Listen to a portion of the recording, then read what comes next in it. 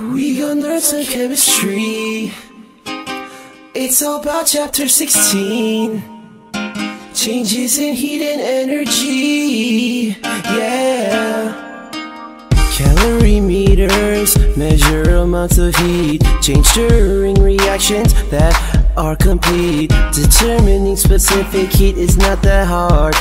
You just plug in the given, all of the little parts. Thermochemistry is a unique study No. of heat changes in reactions that are really funny. No. Enthalpy is the heat content and constant pressure of a system. Yeah, oh, look the weather. Energy, energy, energy change.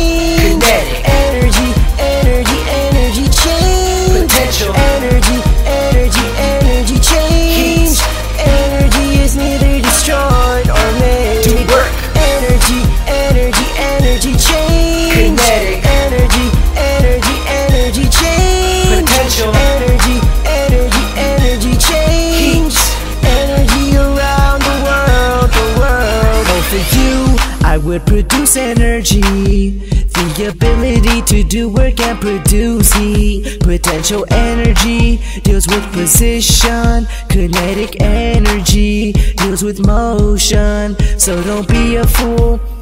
SI unit called a joule. You probably know about calories from different types of foods. Temp goes down, down, down, down. and I can't believe you got heat transferred all around when you got energy, energy, energy change. Kinetic.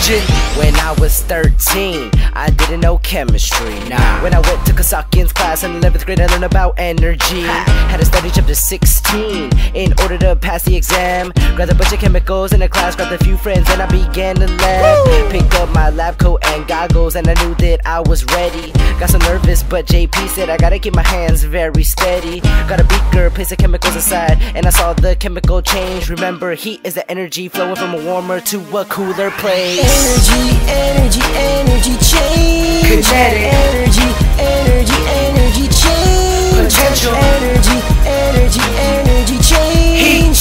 Energy is neither destroyed or made. Do work. Energy, energy, energy change. Kinetic. Energy, energy, energy change. Potential. Energy, energy,